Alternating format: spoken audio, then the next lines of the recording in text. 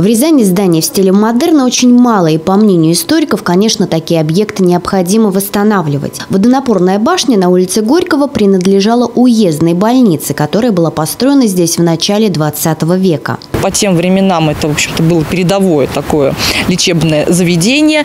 Состояло из э, нескольких корпусов. Собственно, главный корпус и э, корпуса, где жили э, сотрудники больницы, другие корпуса хозяйственные, и в том числе и водонапорная башня, вот, которая находится совсем рядом с нами, которая была частью бани. Оно, к сожалению, уже в советское время большинство корпусов было снесено, и вот у нас сейчас осталось только здание главного корпуса и вот эта самая водонапорная башня. Башня и комплекс зданий, который принадлежал уездной больнице, связан с именем выдающегося человека – Александра Густавовича Смиттона. Это был хирург, который здесь проводил очень сложные операции. По тем временам действительно такой передовой был. И при нем э, земская больница, хотя и была только-только, вот, можно сказать, построена, а, при нем она стала одной из самых таких э, действительно передовых. Сейчас на месте главного корпуса уездной больницы находится Центр патологии речи детей и подростков. А вот водонапорная башня стоит в удручающем состоянии.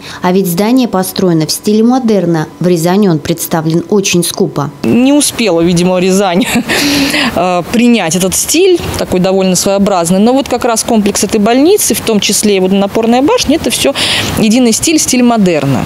Очень редкий для Рязани. Поэтому я, конечно, считаю, что это нужно сохранять, в первую очередь, как объект э, исторической культурной ценности. Водонапорная башня, как и многие другие подобные объекты, представляют историческую ценность. В разных городах их здания используют для экскурсии, открывают в них музеи и не только. Во Владимире есть музей, который находится тоже в водонапорной башне. Совсем недавно, несколько лет назад в Зарайске, э, город, который был когда-то частью Рязанской губернии, там водонапорную башню приспособили под смотровую площадку. То есть сейчас можно на нее подняться, посмотреть на город э, сверху. Это очень интересно. А вот под смотровую площадку можно было бы сделать водонапорную башню Рязано-Московской железной дороги. Жаль, что у нее разваливается крыша, но, возможно, ситуацию еще можно спасти, если среагировать вовремя.